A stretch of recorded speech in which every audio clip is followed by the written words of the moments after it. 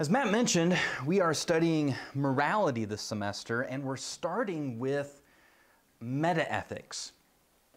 Now, most people are used to the idea of, of ethics, right? So when we have conversations about ethics, we're talking usually about various things and whether they're uh, good or bad, right? Is the death penalty good or bad? Is abortion good or bad?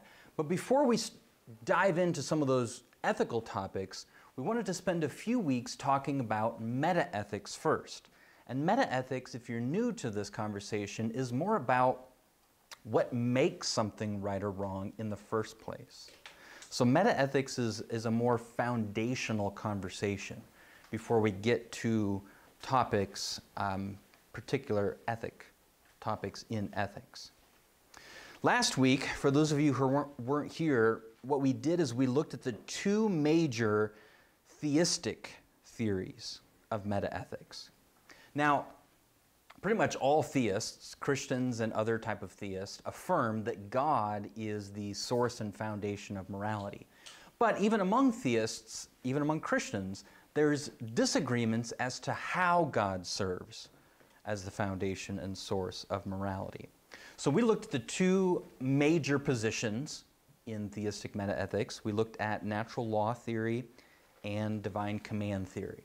There's other theories out there, but like most things, uh, these are the two main theories. Okay. As I mentioned last week, every moral theory, every metaethical theory, is trying to explain at least two things. But these are the, the two big things that every metaethical theory is trying to explain. First of all, they're trying to explain moral value. And that simply is uh, what makes something good or bad. And the second thing they're trying to explain is similar and related, but distinct, and that is moral obligation. Sometimes this is referred to as moral duties. This has more to do with the shoulds, right? We should do this, we should not do that. So even if something is a good thing to do, right, let's say pretty much everybody agrees that uh, protecting an innocent person from a murder is a good thing to do, right? We can have that conversation we agree it's a good thing. But a separate topic would be well, why should we do something that's good? You might just think to yourself, well, isn't it obvious if it's a good thing we should do it? But you see how there's just a little bit of a distinction there. Even though we agree it's a good thing, there has to be something additional that causes us or makes us obligated to do it. Even if it's good, why should we do something that's good? Now, we ended last week looking at Robert Adams' theory. His book, Finite and Infinite Goods, has really become a modern classic. It's well respected. Robert Adams has been a philosophy professor at many um, well-known schools, including uh, Yale University. I think he spent most of his time as a professor at Yale University. But Robert Adams is very well respected, both him and his wife, who's passed away, were both Christians. And his Christian metaethical theory is very well laid out in his book, uh, Finite and Infinite Goods. And he would affirm a divine command theory of moral obligation. So, as we talked about last week, he would affirm that our obligations come from divine commands. Now, remember, in this context, we're using the word command not to refer just to direct verbal instructions from God, but command in this context means any way, um, all the ways that God makes his uh, will known to us or makes our moral obligations known to us. So it can be intuition, it can be our conscience, it can be moral reasoning. There's all sorts of ways, and direct verbal commands, like we normally think about when we hear the term command, like the Ten Commandments. So he had a um, divine command theory of moral obligation, but we didn't talk about his theory of moral value. So again, just explaining Robert Adams' theory, his position on moral value is that something is good, uh, an action that I would do as a human being would be good, morally good, if it resembled God's moral nature. So, God, in this theory that he's proposing, is the ultimate standard of good. And so, if something resembles him or images him or reflects him in the morally pertinent way, then it is morally good. And if it doesn't resemble God's moral nature, then it's morally bad. So, uh, last week I had lined up, but we didn't have time to go through it. I wanted to defend his position here because I happen to agree with it. My theory is very, very similar to Robert Adams. In fact, there's a sense in which my theory is just built on top of or on the foundation of Robert Adams' theory, which works out well because his last name is my first name, so it makes sense, right? So, um, I also don't want to take the time to defend it this week, but I'll do it really quickly, okay? And the way I'm going to defend it, one of the ways I was going to defend it, was just to show you all the other folks throughout history that have affirmed and argued for this theory of moral value. That what is good is what resembles God. He's not the first one to have this idea. He's just the most recent who has articulated and developed the theory uh, very in depthly most recently. So, this theory can be found even in many of the ancient Greek philosophers. And I'm not going to take the time to read these. Unfortunately, if you want them, email me and I'll give them all to you. But for the purpose of the YouTube video, people can pause and then read it at your leisure. But Socrates um, argued for a similar idea. Plato had a similar idea. Aristotle also seemed to affirm that what is morally good is that, is that which resembles God. The Bible, um, certainly, here's Aristotle, we did Socrates, Plato, Aristotle. I think um, the Bible clearly teaches that what is good is that which reflects God so Jesus talks about being perfect. Uh, we should be perfect as our Heavenly Father is perfect. All throughout the New Testament, I have verses here from Paul, uh, verses from John, all talking about this idea that we should image God, we should reflect God. He's the standard, and we're good if we're like Him. I mean, just as just think of all the verses that talk about being godly. Just in that term, it's implying this theory being godly is being good because you're being like God. Christian theologians throughout history have affirmed this idea, so you find this in uh, Augustine, you find it in all the big A's. Anselm seemed to argue for this. Uh, John Calvin, Aquinas, one more A. Aquinas seemed to argue for this view. John Calvin, one of the reformers, and then other contemporary Christians, other contemporary Christian philosophers besides Robert Adams all seem to affirm this idea that to be morally good is to resemble God. So that's their theory of moral value. Here we have William Alston, and then the last one, Mark Murphy. And I know that was just a quick breeze through, but all that to say, this idea of moral value being that which resembles God is not new and it's not unique to Robert Adams, um, but he's just a very good modern contemporary proponent of the idea. And it's very well respected. So even um, Eric Wielenberg, when he writes against uh, theistic metaethics as an atheist, he's arguing against theistic metaethics, he will often use Robert Adams' theory as the one to fight with because it's, as he, as Wielenberg sees, it's, it's the best, or one of the best theistic theories. All right, but let's move on from Robert Adams' theory to my theory. Um, as I mentioned, my metaethical theory is most similar, of all the metaethical theories that are out there, mine is most similar to Robert Adams. But I have one big difference. So the big difference in my theory compared to Adams is that I argue that the source and foundation of morality is God's trinitarian nature.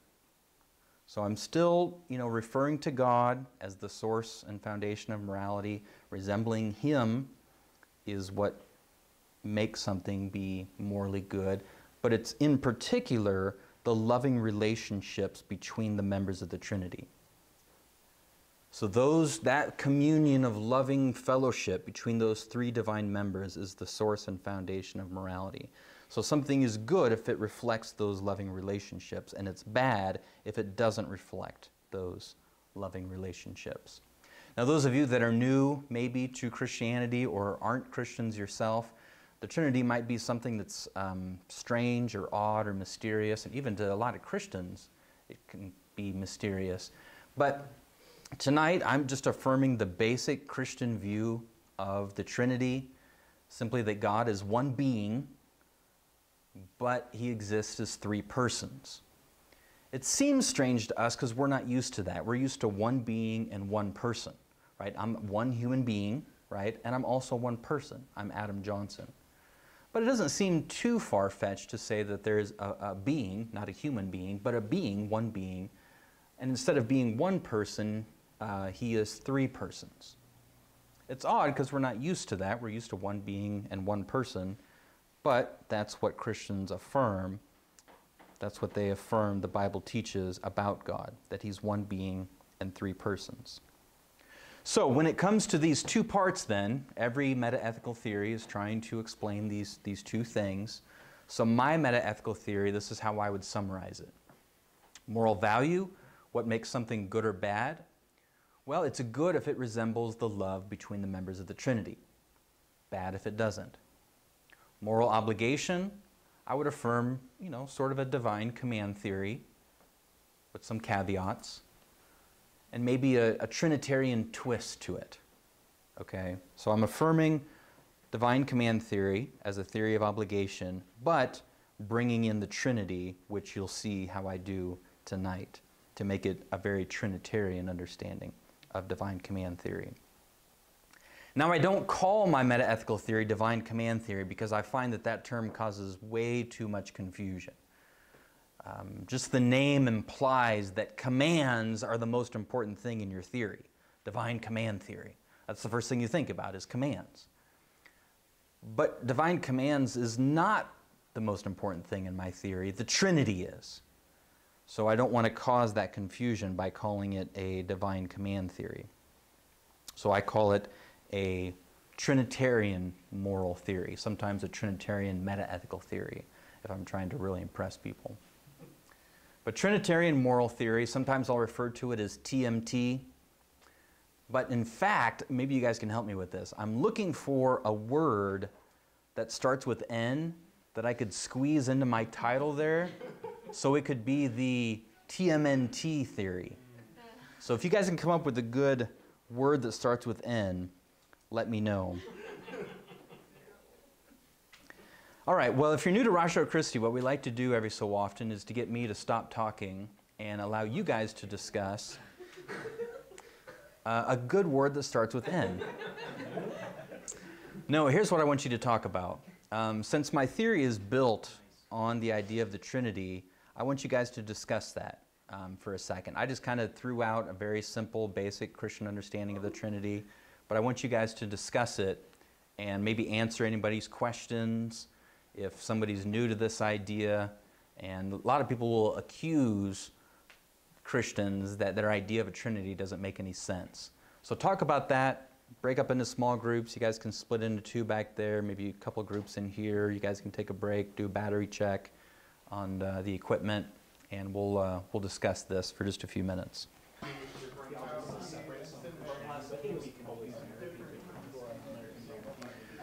So I struggled with trying to uh, structure the material tonight as a teacher or as a presenter. You know, it's always nice if, you if you have some sort of an outline or some sort of a structure through which you're presenting the material. So it's not just, you know, fact after fact after fact. And the best way that I thought of to do that tonight is to give you the top five reasons to believe that my theory is true. right? So, the reason I'm doing that is because, as in most things, whenever we have theories, whether they're scientific theories or ethical theories, the way that you judge them or the way that you try to ascertain whether those theories are true or not is if you see um, if they fit the data, right? You see how uh, strong their explanatory power is. Are they able to explain things well? Do they explain the data that you see?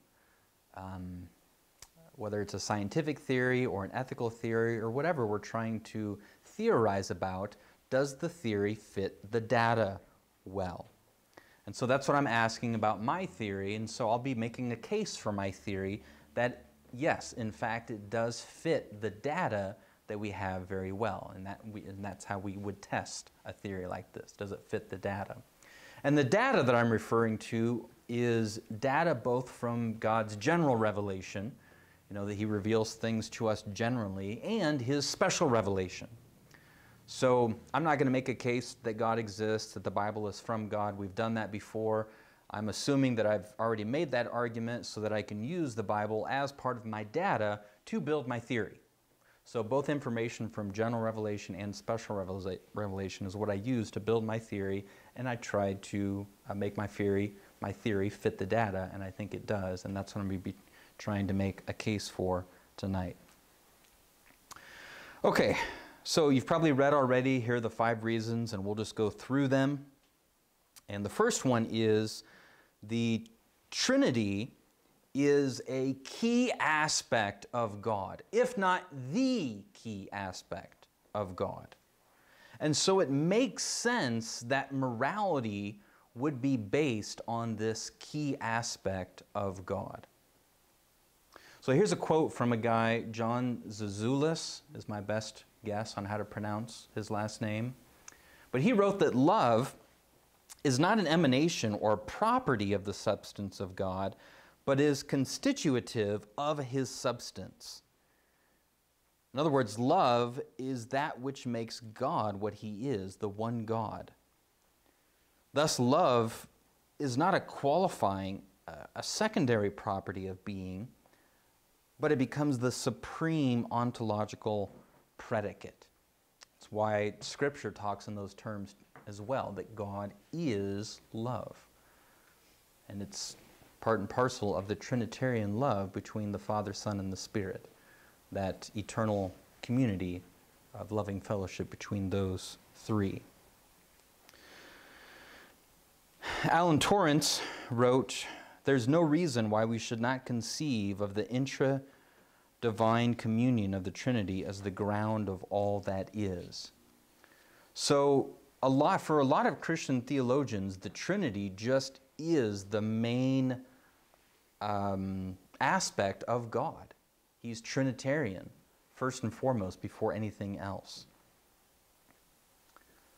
More contemporary uh, evangelical theologian, while he was explaining these loving relationships in the Trinity, theologian Millard, Millard Erickson described this love in the Trinity as the attractive force of unselfish concern for another person, and thus the most powerful binding force in the universe.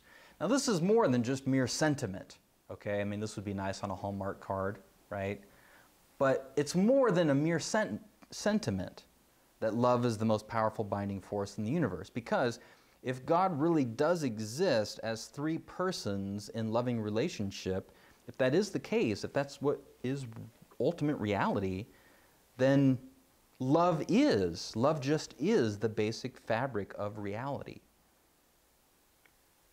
if God exists as a loving communion of three divine persons.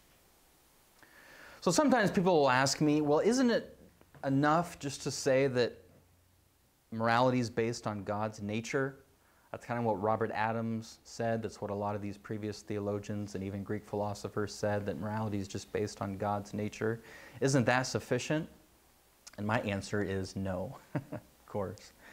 I want to go further and dive down into exactly what it is about God's nature that causes him to be the source and foundation of morality. So, just merely saying that it's based on God's nature, I don't think paints the entire picture. Okay, I think the picture is richer than that.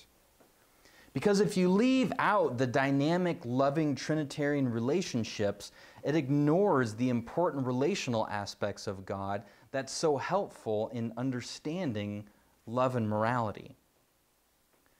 In other words, by including these loving relationships in our understanding of morality, it provides a more complete picture of how God is the source and foundation of morality, and it helps resolve various problems and puzzles in metaethics. Okay? So just basing morality on God's nature isn't the complete picture. If you bring in the Trinitarian loving relationships, if you base it on God's Trinitarian nature, it clears up a lot of issues and makes it more of a, uh, a fuller picture of reality. So I'm making the case for. So here's a long quote, but I think it's very, very useful. This comes from a guy by the name of Norris Clarke, but I think he sums it up really well. I'll read it, it's long. Don't be scared. Clarke wrote To be a person is to be with, to be a sharer, a receiver, a lover. Ultimately, the reason why all this is so is that this is the very nature of the Supreme Being, God, the source of all being, as revealed to us in the Christian doctrine of God as three persons, within the unity of one being, like I said before. So that the very being of God is, is to be self communicative love. This dynamism within God is then echoed in all of us, His creatures, and in a preeminent way in created persons, human persons, made in His image. Thus, the Christian revelation of the Trinity is not some abstruse doctrine for theologians alone, but has a unique illuminating power as to the meaning of being itself, which carries metaphysical vision beyond what was accessible to it unaided. This is Christian philosophy at its most fruitful. So yeah, you take people like Aristotle, Plato, Socrates, and from general revelation, they could make out, you know, maybe how God was the source and foundation of morality. But when God reveals directly to us these truths about himself, that he's a trinity of three persons, then that gives us that much more data to more fully understand how God is the source and foundation of morality. All right, let's move on to number two. Uh, I'm arguing that my theory is, is true, describes reality accurately, correctly, uh, because it explains why the meaning of life is our personal loving relationships. I think this is something that we all know intuitively from general revelation, right? That our loving relationships are the most important parts of our lives, the most important part of our life. Now, our loving relationships change over the years. When we're younger, they're our parents. When we're older, they become our friends, our siblings. Later, you know, we boyfriend, girlfriend, and get married, then our children, then our grandchildren. So our loving relationships change throughout our life. But virtually everybody on their deathbed acknowledges that the most important thing in their life were their loving relationships, that they are the very purpose of our existence. And so the Trinitarian moral theory explains why that is. According to my theory, we were created to join the loving fellowship of the Trinity. We were created in His image as persons to expand the loving fellowship of the Trinity. So, three persons in loving fellowship, and then we were created to be a part of that fellowship, to expand that fellowship. So, what I'm saying is the ultimate purpose for humans is basically to love God and to love others. That's what we are created for. That is our purpose, our telos, if you will. To love God and love others. And this resembles God. So, loving God images Him. When we love God and we love other people, we are reflecting Him because in the Trinity, He is loving God each other, the divine persons, and he's loving others, the three members loving each other. So, loving God and loving others, when we do that, that's what we were created for, and when we do it, we image him, we reflect him. So, a couple quotes here. The First one is from William Lane Craig. He explained that existing alone in the self sufficiency of his own being, enjoying the timeless fullness of the intra Trinitarian love relationships, God had no need for the creation of us, a finite persons, but He did this not because of a deficit in Himself.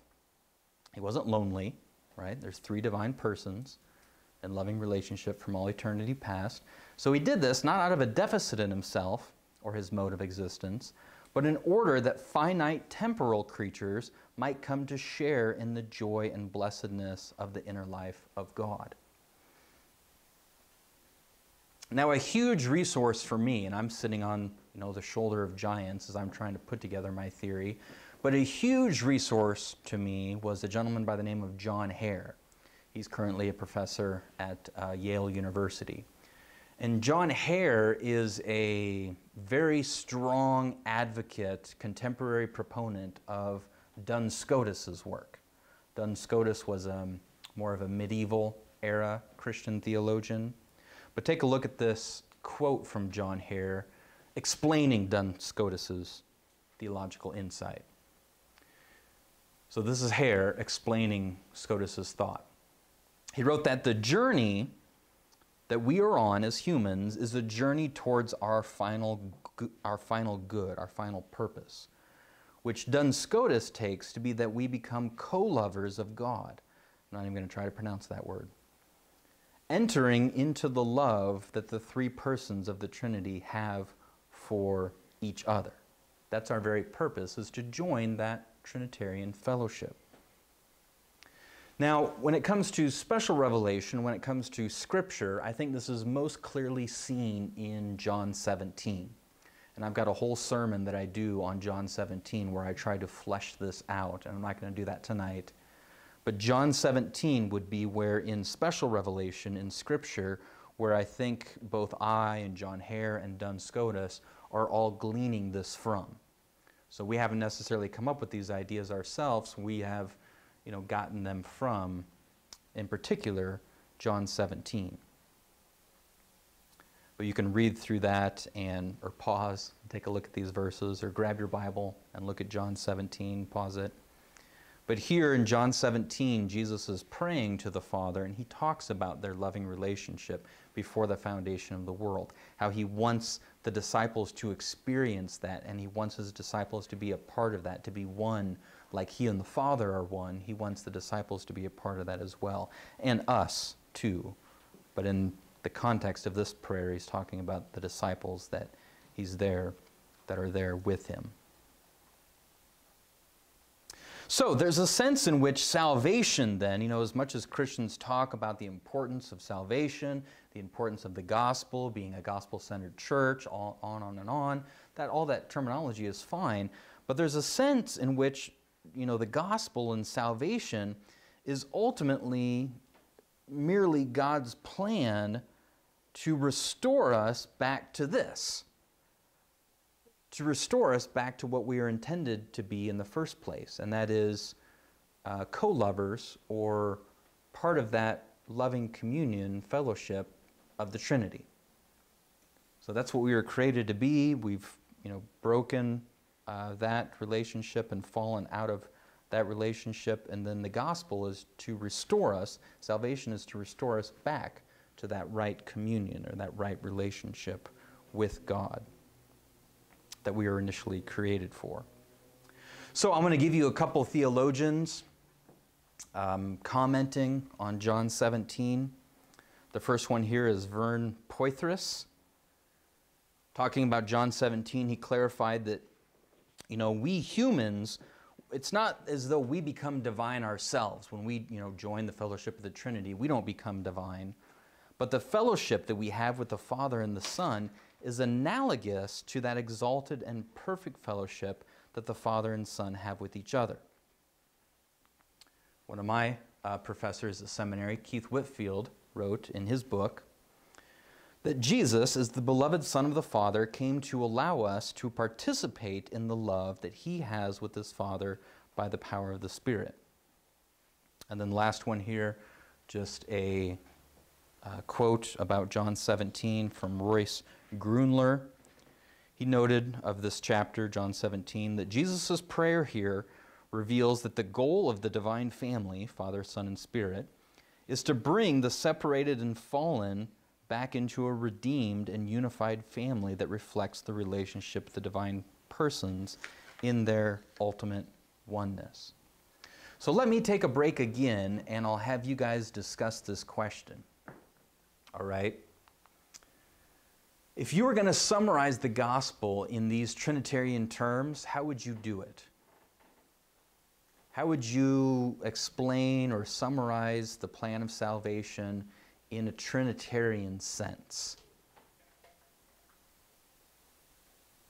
And stumble through it, think through it. This might be the first time that you're thinking of salvation in a Trinitarian sense. So think out loud, you know, help one another to go through this. But let me give you a few minutes and you guys can discuss this in small groups.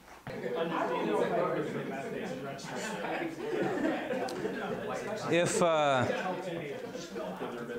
if I was going to try to summarize the gospel in a, a, in a Trinitarian sense, right, and I'm talking here when I'm using the term gospel, I'm meaning just basically the plan of salvation. Um, Christians often talk about, you know, the gospel is how we can get reconciled with God. But if I summarize that in a Trinitarian sense, basically I, I start out with our, what our purpose is.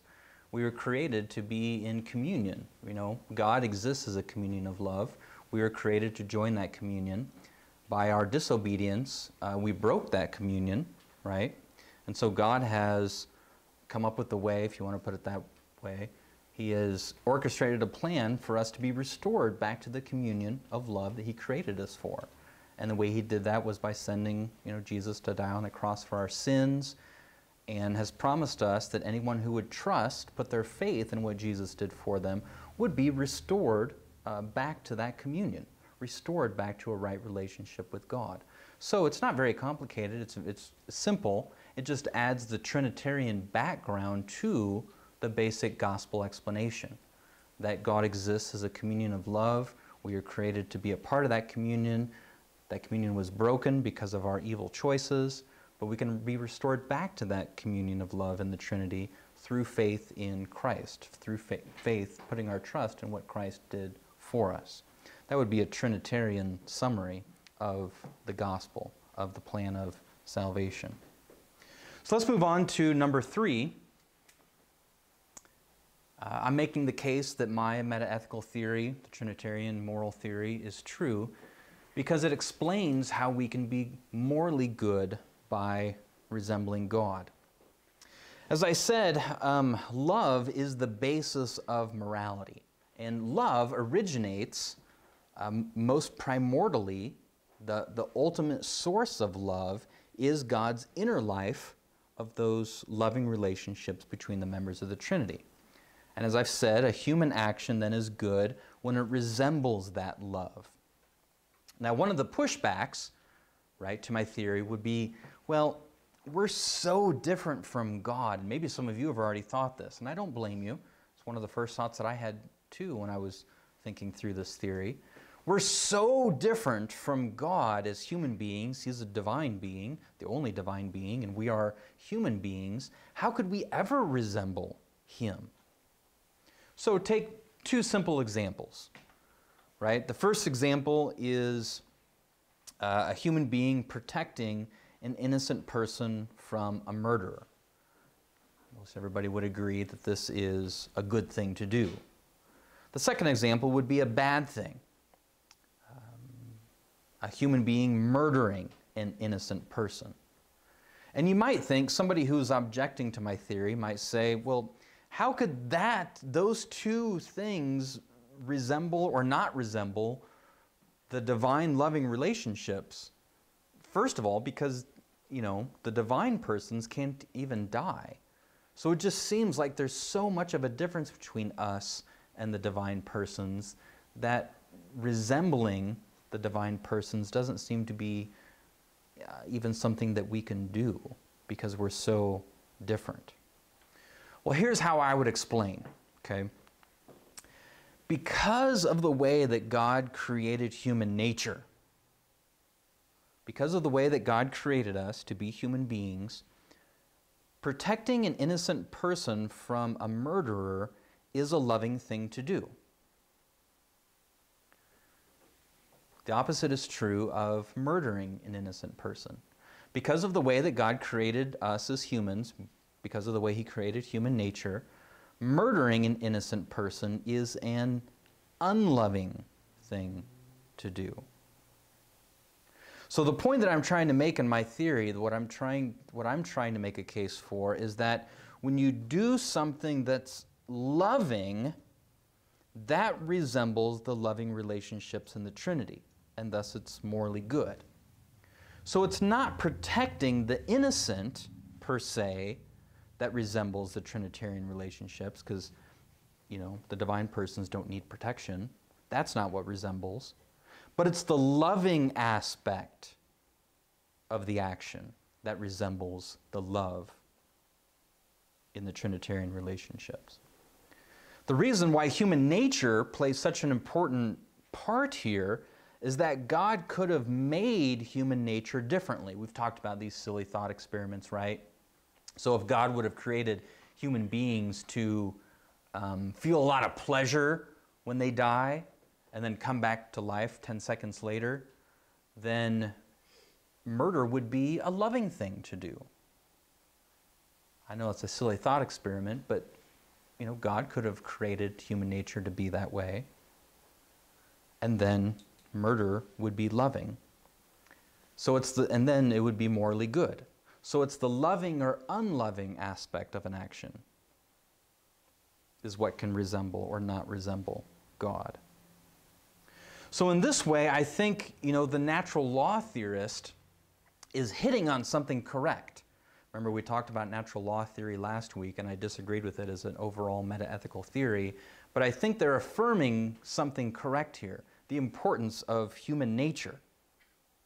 So, facts about human nature, the way that God created us, and facts about the relationship between the members of the Trinity, those two facts work together to determine what's morally good and bad. Now, this isn't natural law theory, right? I'll try to explain the difference between natural law theory and my theory, but they're both affirming the importance of human nature, the way that God made us. Here I'm trying to splice out the difference between natural law theory and my Trinitarian moral theory. So, to answer the question, why is murder bad? a natural law theorist would say, well, it's bad because it doesn't lead to the flourishing of human nature. And I would reject that theory.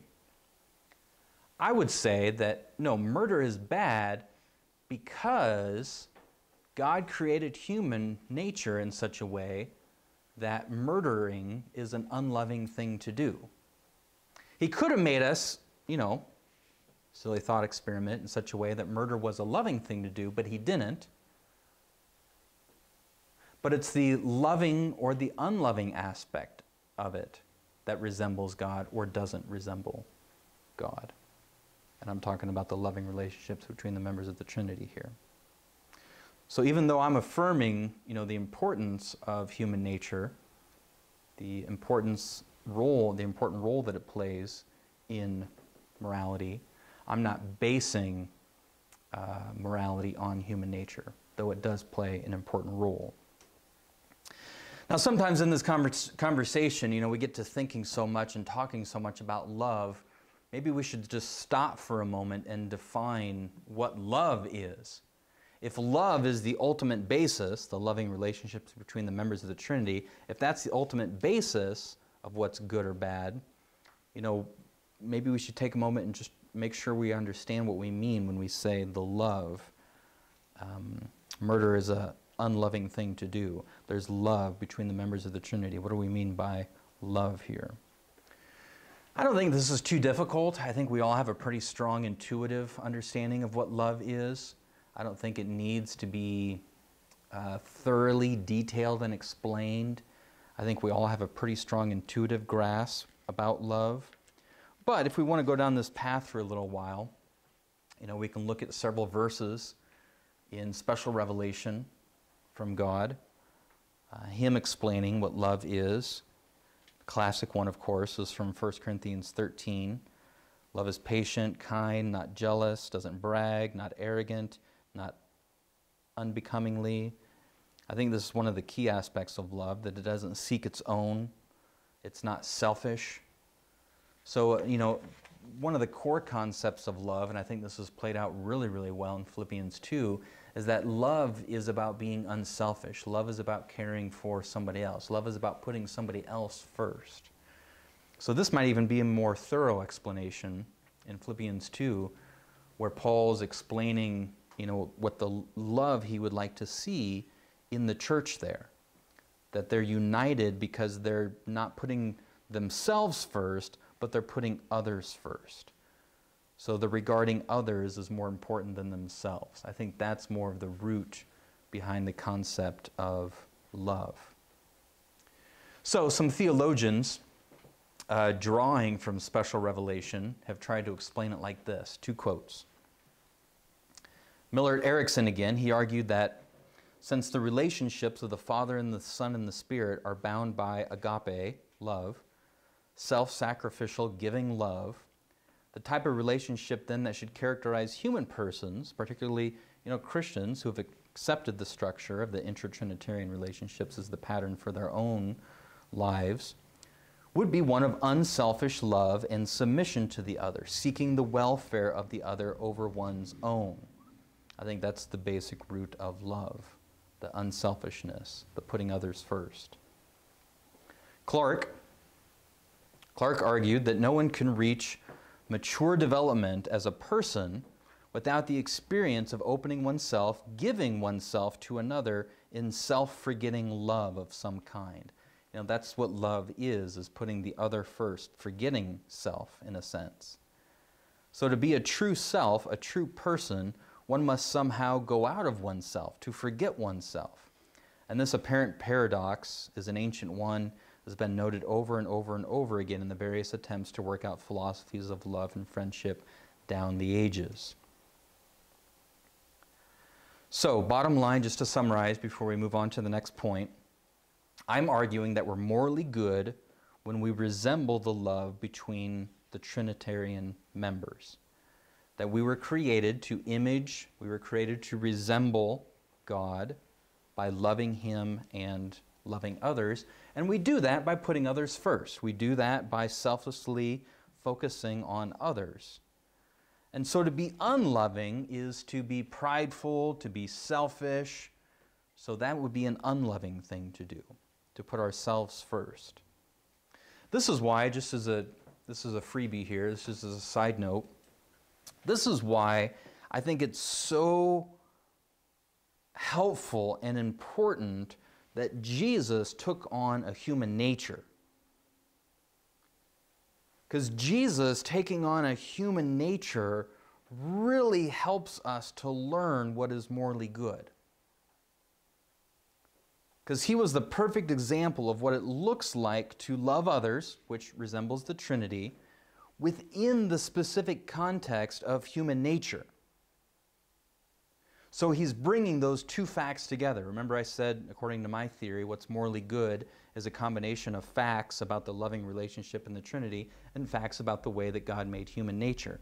And Jesus, one of the divine members, becoming incarnate, taking on human nature, gives us the perfect example of how a human should love humans, given that human nature is the way that God created it.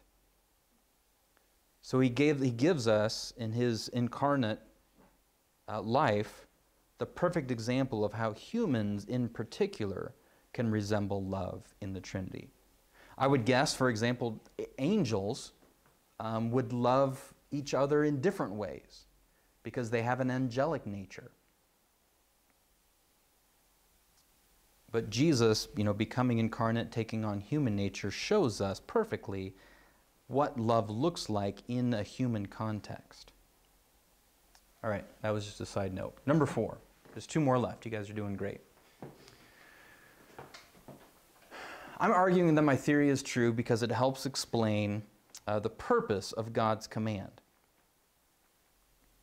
Now, this, um, this deals with a very common complaint against the theory that God's commands generate our moral obligations. Uh, sometimes people, even Christians, believe or feel maybe that God's commands make morality all about his authority over us. Uh, it makes morality all about God's desire to control us, almost like a dictator. So they complain any sort of divine command theory, any sort of basing morality on commands whatsoever, um, makes morality arbitrary or authoritarian. So I'll give you an example of this. This is from a Christian philosopher, Linda Zagzebski. She's a philosopher at the University of Oklahoma. But here, arguing against divine command theories, the idea that commands should play a part in moral obligation. She complained that making demands is just not a loving thing to do. Brings to mind the idea of a husband demanding that his wife iron his shirt. Most of us think that there's something wrong with the relationship in which such demands are made. Commands are just harsh acts. So sometimes, you know, people have this maybe emotional reaction to uh, divine commands or any sort of theory that brings in divine commands. I heard recently somebody explain it this way. This was their feelings about the situation. They said, you know, look, it seems as though God has, has given us these uncontrollable sexual desires. He's created us, and this person's not a Christian, not a theist as far as I know, but they're making fun of the idea of Christianity. And he says, Look, it's kind of like God makes us and gives us these uncontrollable sexual desires, commands us not to indulge in them, and then sits back and kind of laughs at our frustration. And it's the same kind of, you know, complaint that Zagzebski is making here. That these commands just seem arbitrary, they don't seem to serve any purpose. Um, it's just they, they paint a picture of God just trying to control us or exert his authority over us, and that's just not a very loving thing to do. Well, what I'm arguing here is that my Trinitarian moral theory um, explains the purpose of God's commands, that they're not arbitrary, that they don't come from some despotic desire to just control our lives. So, according to my Trinitarian moral theory, the purpose of God's commands are that they're instructions for the path which best achieves His purpose for us. And again, as I've been saying all night, the purpose that God created us for is to join the fellowship of the Trinity. So the commands he gives us, the instructions he gives us then, are for the purpose of maximizing our ability to be a part of and enjoy these loving relationships, both with him and with others. Now, yes, I affirm we're accountable to God. I affirm that, you know, he's our authority. But the purpose of his commands is not about c- control and authority the purpose of his commands is to help us excel at loving relationships, both with him and with others. And I think this understanding, if it's true, if it's correct description of reality, this understanding then helps us nullify the complaint that God's commands are just arbitrary or that he's just authoritarian like a dictator. But no, if this theory is true, his commands build a relationship of love, communication, and trust between him and us. In other words, his commands aren't dictatorial, but relational, guiding us to our ultimate end, our ultimate purpose, to maximize our ability to be a part of and enjoy loving relationships. So, one thing we see often from John both in the Gospel of John and First John, is that obeying God is the way that we express our love for Him. So, obedience, when we obey His commands, that's how we love Him. That's one way that we can express and love God, is through our obedience to Him. And I think all of this explains why uh, Jesus said the greatest commands, the greatest two commands, are to love God and love others. And all the other commands are based on this foundation.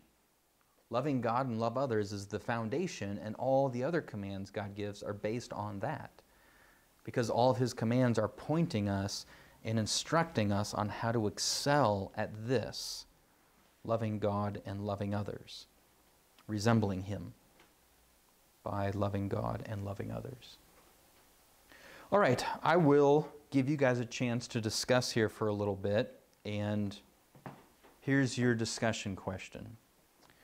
So, assuming that my Trinitarian moral theory is true and the purpose of God's commands is to help us be better lovers, love God better, love others better, how does that change your feelings about God's commands?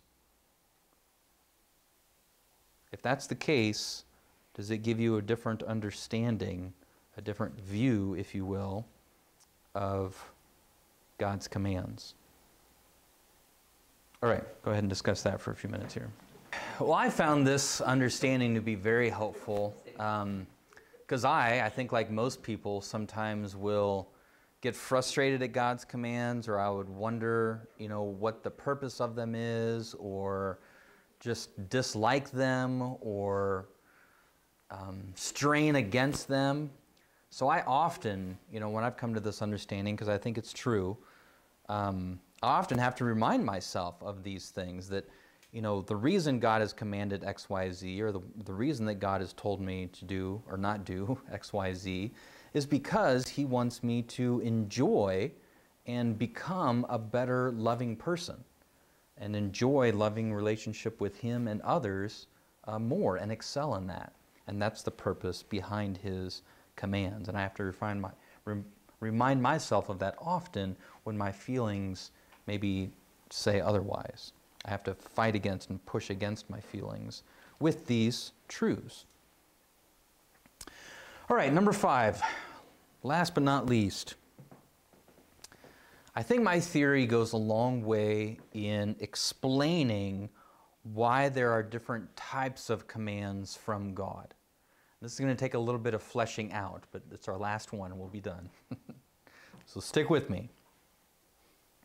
Last week we talked a lot about one of the most popular objections to divine command theories is that it makes morality arbitrary. This is the first horn of the Euthyphro dilemma.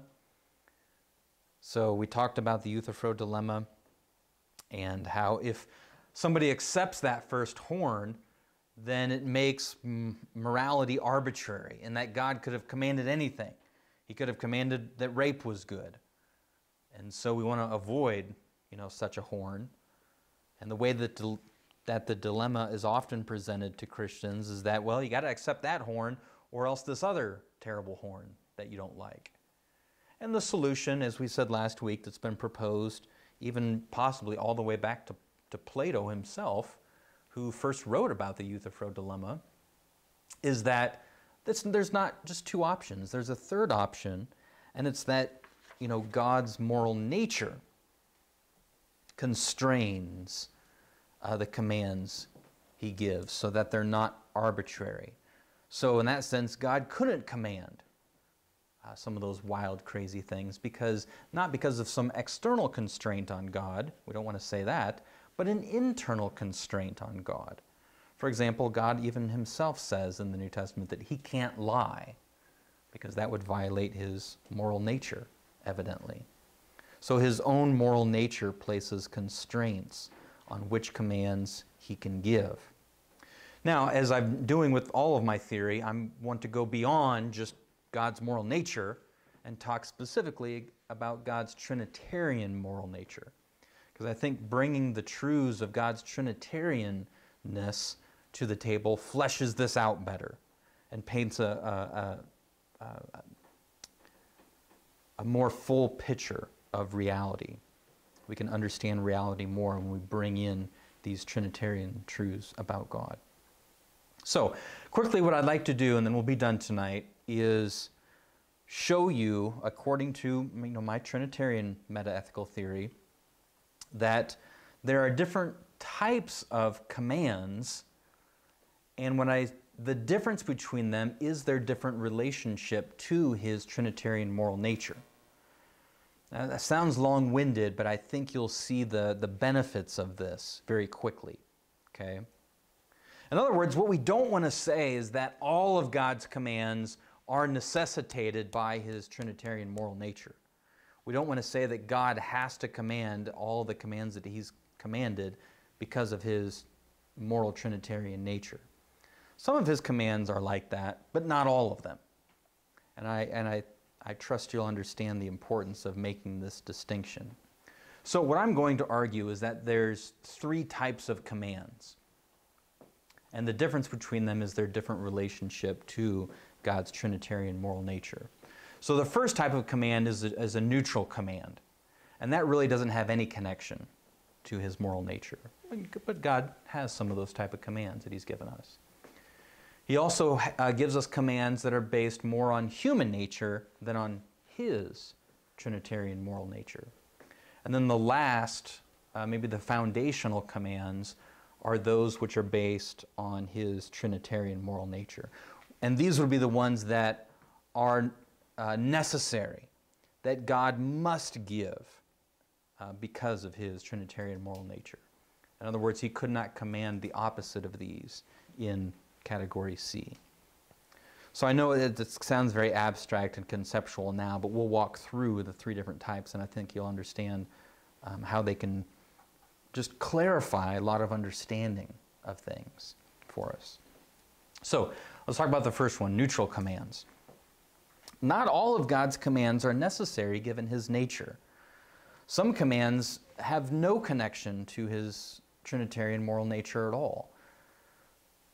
So Baggett and Walls, they have this example, two authors, two Christian authors who write about this issue. They use the example of tithing. They say, look, God could have tithed, or, or God could have commanded in the Old Testament for the Israelites to give or tithe 11% instead of 10%. And that wouldn't have violated God's moral nature, right? If he would have commanded them to tithe uh, 20 or 5%, none of those would violate his moral nature, okay? I bring up this hypothetical one about driving on the right side of the road. So God might command, he, hasn't as far as I know, but hypothetically, you can, you can imagine God commanding a society to drive on the right side of the road. Now, there's nothing inherently good or bad about driving on the right side of the road, right? Um, but you could see why God might command that. That would provide standardization to a society that would probably provide more safety to a society if everybody drove consistently on the right side of the road. So it's not like God wouldn't have good reasons for these commands, but they wouldn't be necessarily tied or connected or necessitated by his moral nature.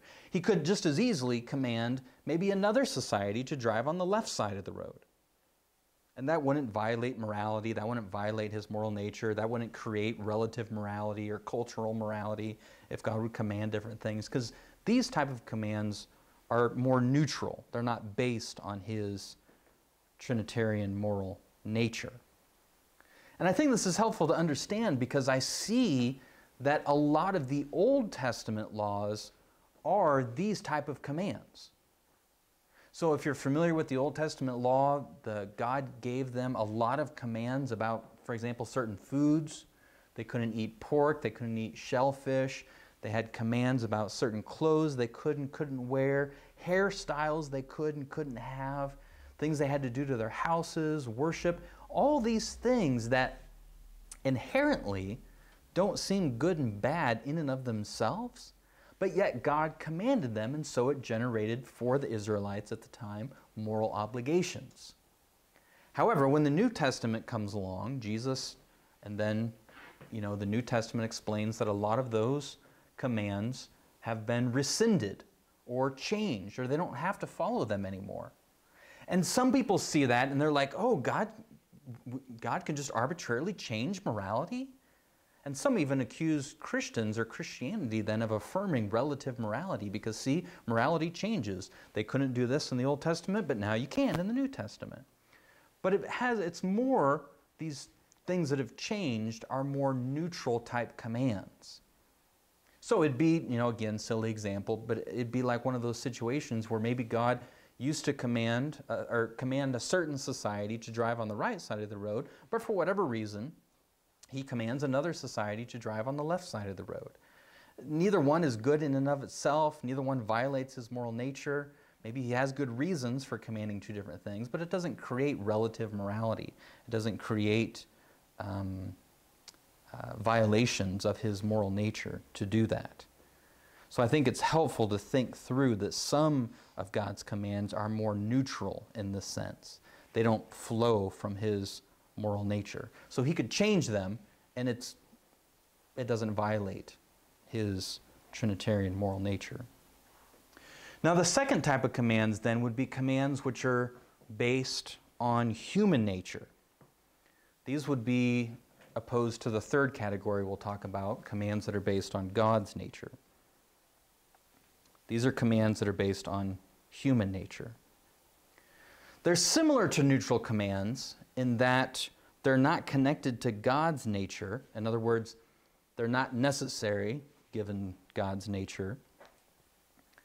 But sometimes I think people struggle with this type of command because we might think at first, well, isn't a command against murder necessary? Wouldn't God, because of his moral nature, have to command against murder? And I would just say no. Going back again to the silly example, if God would have created our human nature differently, then commands against murder wouldn't be necessitated or wouldn't apply. So if He made us in such a way that dying felt really good and we came back to life 10 seconds later, then He wouldn't command against it because it would be a loving thing to do. So these commands are not necessitated, necessitated by His nature, but they have more to do with the way He created our nature to be. In other words, because He created human nature to be the way it is, that's what causes Him to command these things. Again, this isn't affirming natural law theory. It might be affirming that human nature plays an important role, but it doesn't agree with natural law theory and that I'm not basing all of morality on human nature. So, na- a natural law theorist would say all of our moral obligations are based on human nature, and I'm just saying some of God's um, commands are um, are given because of the way He made human nature. So it plays an important role, but human nature is not the core foundation of morality. God's Trinitarian nature is. So I'm arguing. So let's talk about the last one here. So neutral commands, commands that are more based on human nature, and then the last category is commands that are based or necessitated by God's Trinitarian moral nature. And I would make the case that there's only two of them and it's the two greatest commandments. As Jesus said, the greatest commandments are to love God and to love others. And one of the reasons, quite possibly, that these are the greatest commandments are that these are the only ones that are necessitated by God's moral Trinitarian nature. And they summarize the core foundation of morality to love God and love others no matter what our nature is like. So God could have created human nature in all sorts of different ways, and this would still be the case to love or to love Him and to love other humans. If you would have created us differently, we would maybe love differently, but the, the loving aspect is what's necessitated. That couldn't be otherwise. So, uh, a couple quotes here. This is from Stephen Evans. We've heard from him before. Evans wrote, Some of what God commands, he commands necessarily. Not everything. We talked about the other types of commands, but some of what he commands, he does so necessarily. And Evans' writing says I think the most plausible candidates for divine commands that have this character of necessity are the command to love God and the command to love neighbors as ourselves, the two greatest commandments. It might be helpful, just I know this, a lot of this is conceptual, it might be helpful to think about it from the opposite angle, right? What I'm trying to argue is that God could not command us to hate Him or to hate others, because that would contradict His Trinitarian moral nature. Just like He says of Himself that He can't lie, uh, I would make the case that He would not be able to command us to hate Him or hate others. So this is what led, you know, Alvin Plantinga to write something like this. Alvin Plantinga wrote, It's an essential property of God not to command hate instead of love. Plantinga talks in possible world language. There are no possible worlds in which God commands hate rather than love. But it's more has to do more with his uh, moral nature that he just cannot do that. Now, these two commands, even though they're the greatest, are fairly broad, right? Love God and love others. And I think you could make the case that just by themselves, they don't give much direction. Love God and love others. Hence the need for human nature based commands. Okay? That's why I think understanding these different category of commands is helpful because they complement each other. Okay?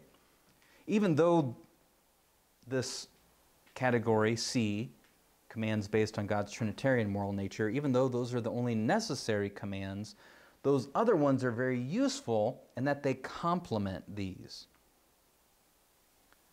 In other words, the human nature based commands tell us how to love, given that human nature is the way it is. So the human nature based commands tell us how to love and if you think about it, it makes sense. You know, how we love a being or how we love a particular being depends on what that being is like. That's why I said before, you know, angelic beings might love each other in different ways than we do. They're still supposed to love, but because they're different beings, expressing their love to one another, doing loving things, might look differently because they have different natures than us.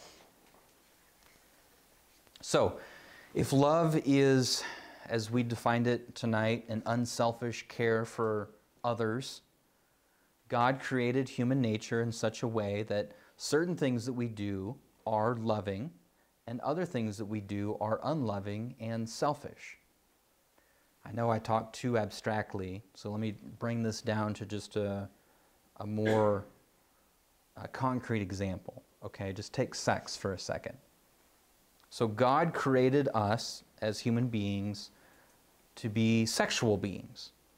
Angels aren't, but part of our nature is to be sexual beings, male and female, and then to enter into sexual relationships with each other.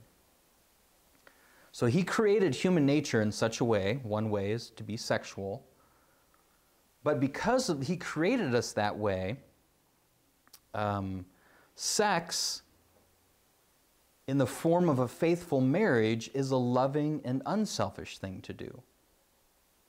But because of the way he created us, sex in the form of rape or adultery is an unloving and selfish thing to do. So again, it's not the, the acts, because God could have created us differently, but it's the loving aspect or the unloving aspect of it, given the way He created us, that can either reflect Him or not reflect Him. So, again, these two types of commands are complementary. Last quote for the evening, I believe. This is from John Hare, summarizing better than I did what I'm trying to get across here.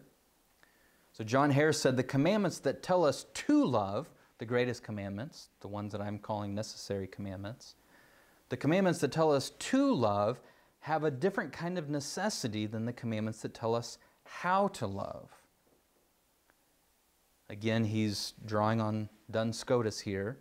Scotus is not saying that the love of the neighbor is contingently commanded, but that the form in which this love is to be shown is contingent.